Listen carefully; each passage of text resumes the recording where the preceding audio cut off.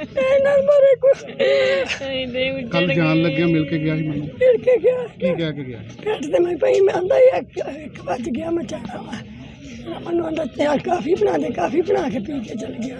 ਕੋਈ ਗੱਲ ਨਹੀਂ ਕੀਤੀ। ਛੇਤੀਆਂ ਹੀ ਪੈ ਜਾਂਦੀਆਂ ਵੀ ਲੇਟ ਹੋ ਜਾਣਾ ਲੇਟ ਹੋ ਜਾਣਾ। ਮੈਨੂੰ ਕੀ ਪਤਾ ਹੀ ਵਾਪਸ ਹੀ ਨਹੀਂ ਆਉਣਾ। ਐਂ ਗੱਲ ਗੱਲ ਹੀ ਕਰ ਲੈਂਦੇ ਕੋਈ। ਮੇਰ ਨੂੰ ਮਿਲ ਕੇ ਗਿਆ ਕਹਿੰਦਾ ਪੁੱਤ ਚੰਗਾ ਮੈਂ ਚੱਲਾਂ ਮੈਚ ਤੇ।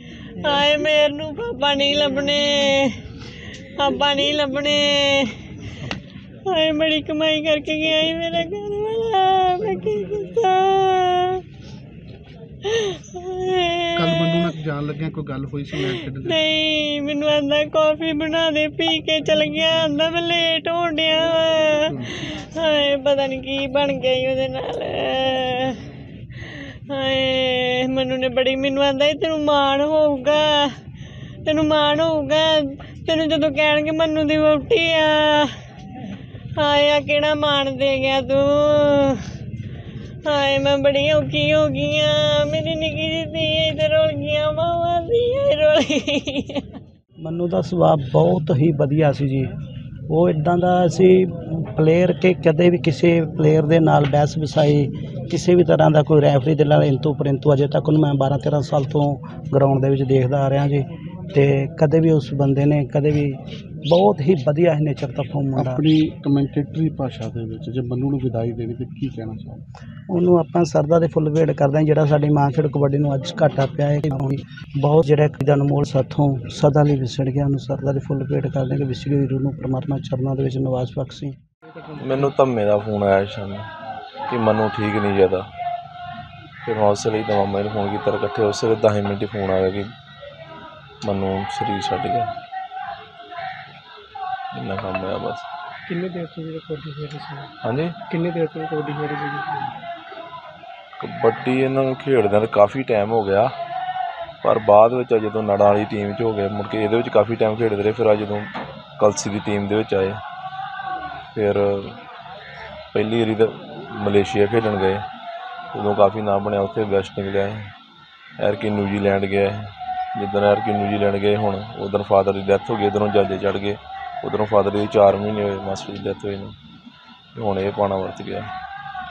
ਆ ਚੱਕਰ ਬਣਿਆ। ਕੀ ਕੀ ਜਿੱਤ ਪ੍ਰਾਪਤ ਕੀਤੀ ਸੀ ਉਹਨਾਂ ਨੇ? ਜਿੱਤ ਇਹਨਾਂ ਨੇ ਤਿੰਨ ਚਾਰ ਮੋਟਰਸਾਈਕਲ ਜਿੱਤੇ।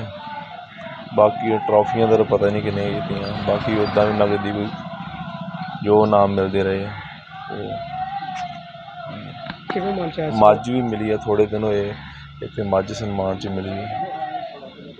ਕਾਫੀ ਮਤਲਬ ਨਾਮ ਦੀ ਵੀ ਗਿਣਤੀ ਕਿੰਨੇ ਕੁ ਨਾਮ ਮਿਲੇ। ਉਹ ਅਣਗਿਣਤੀਆਂ ਕੋਈ ਮੁੰਦਰੀਆਂ ਐਲਈਡੀਆਂ ਇਹੋ ਜਿਹੀ ਚੀਜ਼ਾਂ ਦਾ ਤਾਂ ਕੋਈ ਪਤਾ ਨਹੀਂ। ਕਾਫੀ ਨਾਮ ਜਿੱਤੇ ਆ। ਤੁਹਾਡੇ ਨਾਲ ਕੋਈ ਜ਼ਿਆਦਾ ਰੁਝਾਨ ਹੋਏਗਾ ਉਹਨਾਂ ਦਾ ਹਨਾ? ਹਾਂਜੀ। ਤੁਹਾਡੇ ਨਾਲ ਜ਼ਿਆਦਾ ਰੁਝਾਨ ਹੋਏਗਾ ਉਹਨਾਂ ਦਾ। ਸਾਡਾ ਸਾਡਾ ਨਾ ਸ਼ੁਰੂ ਤੋਂ ਹੀ ਬਹੁਤ ਜ਼ਿਆਦਾ ਪਿਆਰ ਸੀ। ਨਿੱਕੇ ਹੁੰਦਿਆਂ ਤੋਂ ਜਦੋਂ ਛੋਟੇ ਹੁੰਦੇ ਸੀ ਨਾ ਉਦੋਂ ਤੋਂ ਹੀ ਇੱਥੇ ਅਸੀਂ ਜਦੋਂ ਛੁੱਟੀਆਂ ਗਰਮੀ ਦੀ ਕੱਟਣੀ ਚਾਹੇ ਇੱਥੇ ਕੱਟਣੀਆਂ ਆਣ ਕੇ ਚਾਹੇ ਇਹਨਾਂ ਨੇ ਉੱਥੇ ਕੱਟਣੀਆਂ। ਅਸੀਂ ਇੱਕ ਦੂਜੇ 'ਚ ਇੰਨਾ ਪਿਆਰ ਹੈ ਕਿ ਸਾਨੂੰ ਪਤਾ ਨਹੀਂ ਕਿ ਇੱਕ ਦੂਜੇ ਦੇ ਮਾਸੀ ਦੇ ਬੇਟੇ ਆ। ਇਕੱਠਿਆਂ ਰਹਿੰਦੇ ਨੇ ਇਕੱਠੇ ਆਮ ਮਤਲਬ ਸਗੇ ਭਰਾਵਾਂ ਨਾਲ ਵੱਧ ਕੇ ਹੁੰਦਾ ਸਾਡਾ ਪ੍ਰੇਮ ਪਿਆਰ। ਇੰਨਾ ਪਿਆਰ ਹੈ ਸਾਡਾ। ਪਰ ਕਿਸਮਤ ਦਾ ਕੋਈ ਪਤਾ ਨਹੀਂ ਕੀ ਬਣਦਾ। ਤੋਂ ਰੁਝਾਨ ਸੀਗਾ ਕਬੱਡੀ ਵੱਲ ਕਿ ਜਾਂ ਕਿਸੇ ਹੋਰ ਖੇਡ ਵੱਲ ਸੀਗਾ ਨਹੀਂ ਜ਼ਿਆਦਾ ਪਹਿਲੋਂ ਇਦਾਂ ਭਰਤੀ ਭੁਰਤੀ ਵੇਖੇ ਮਿਹਨਤ ਮੂਹਨਤ ਲਾਉਣ ਦਾ ਸ਼ੁਰੂ ਤੋਂ ਸ਼ੌਂਕ ਸੀ। ਮੁੜ ਕੇ ਜਦੋਂ ਉਧਰ ਨਾ ਸੂਤਰ ਆਇਆ ਫਿਰ ਸ਼ੁਰੂ ਤੋਂ ਕਬੱਡੀ ਵਾਲੀ ਰੁਚੀ ਬਣਾ ਲਈ।